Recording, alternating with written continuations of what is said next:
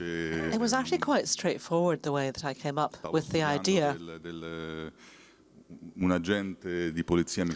I was looking into a police officer. I was explaining to me all the background and all the information on a crime scene. And he said, I was sure that there were some colleagues involved in this actual crime. And that made me think that it might be interesting to tell this story. I had an image of a police officer walking towards a crime scene, but not really in the role of a police officer, but already knowing what had happened and the background to it.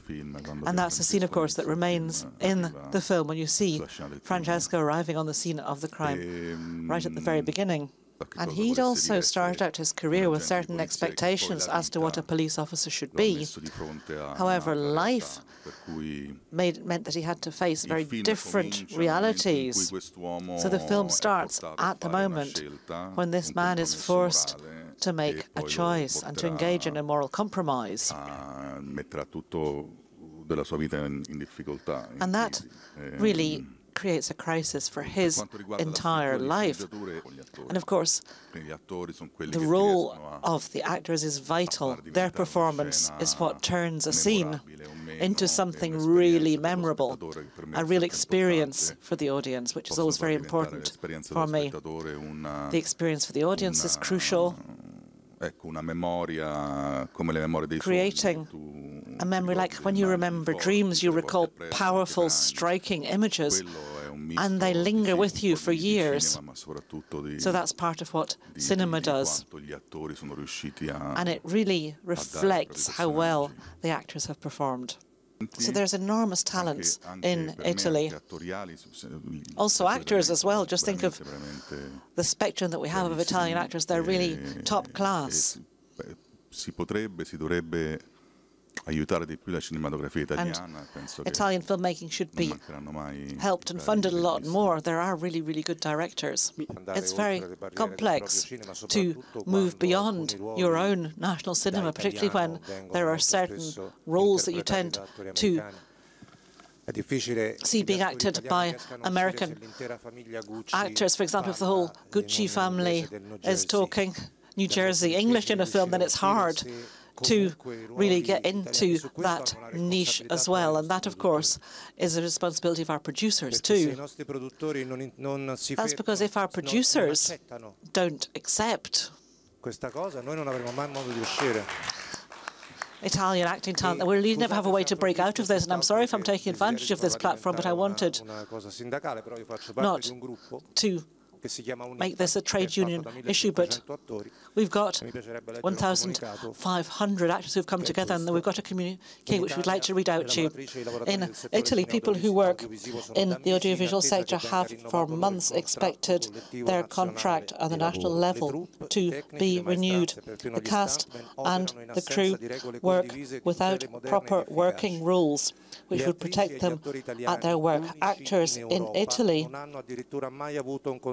have never had a proper collective contract establishing the rights and duties and minimum salaries, and that is because the producers' associations will not sit down and negotiate with them.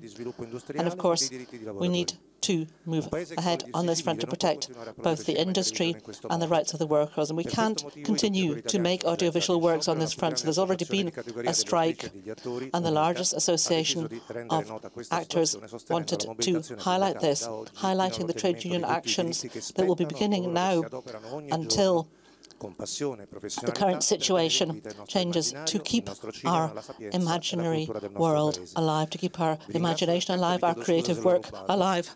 Thank you for giving me the time to read that to you. Now, I think that I am able on behalf of my country to carry Italian cinema onto the international arena. Now, if you come to Italy and pretend that it's eh, Mexico, or you pretend... I mean, it can be an Italian backdrop, but it's very important to make sure that we have the same rights as everybody else. 40% tax credit. But nonetheless, we're not really presented to you as actors. And that's a, there's a disrespect for our cinematic heritage, which is really quite shocking, I have to say. And the outcome of that is that you don't see our films any longer. Un, un, un, film che sta vincendo in tedesco. So imagine there's a film that wins in German. I mean, it wins prizes all around the world, and it's produced by a major, but it's produced in German with German actors and a German director.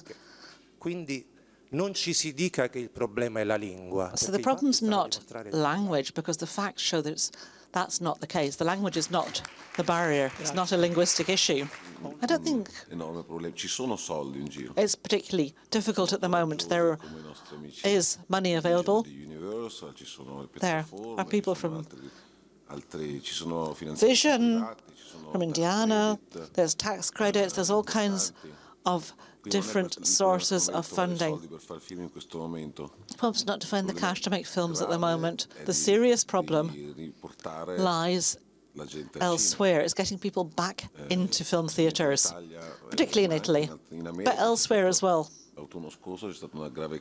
There was a real crisis for cinemas in the States last year.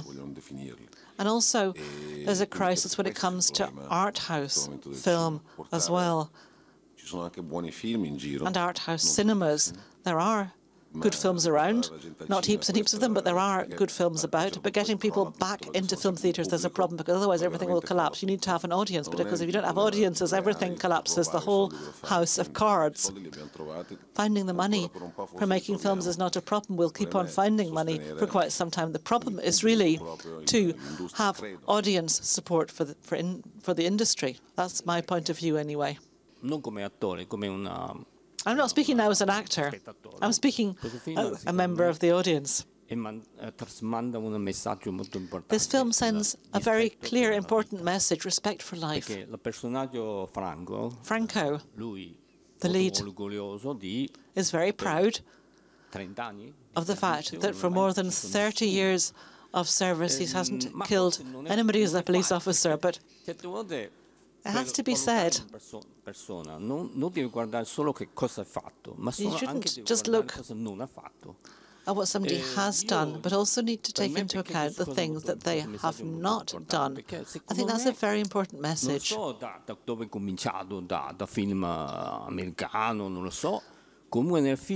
don't know about American films, but certainly in films in general, People don't take it seriously when people are killed. It looks as if it's all just a game. It's as something people do as frivolously as if they were just drinking a coffee. And this is something that's transmitted by cinema, by Hollywood cinema, by American cinema. And I don't like that spirit. It has to be said that it's too easy uh, to kill in real life. Think of families, for example, where there's domestic violence. Husbands kill their wives, children kill their parents. Politicians start wars as if they were drinking a coffee. There's another thing I like about this film. Perhaps it's the only Italian film that has so many Chinese characters in it, so many Chinese faces. It's very nice to see that. When I was writing, I have to say, it's cinematic language that can create tension on any topic whatsoever. Una sorta di um, uno può chiamarla moda eh, nel You could call it that a certain kind of fashion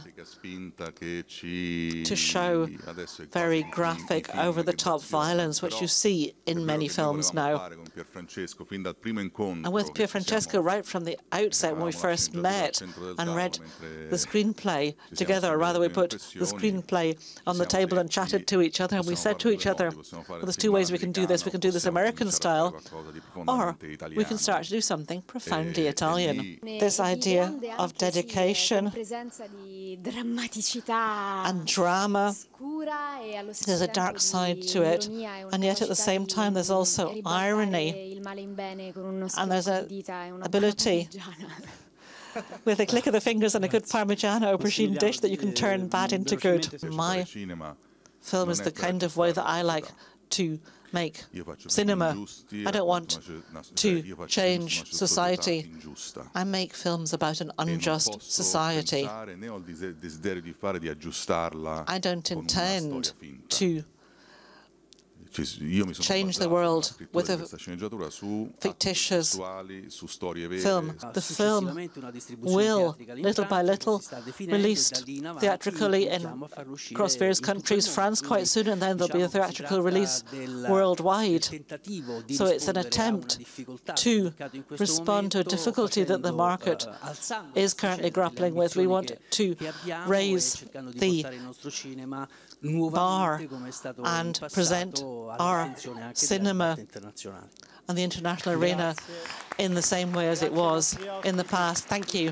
Thank you to all of our guests the last night of Amore.